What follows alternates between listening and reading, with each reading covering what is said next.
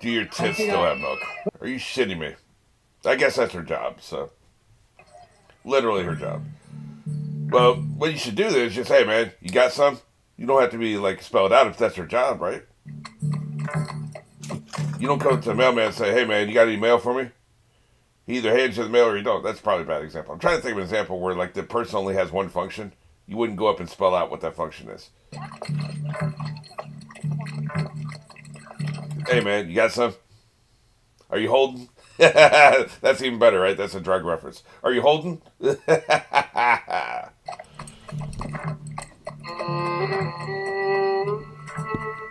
oh shit, this is Peaky Blinders. Fuck, man.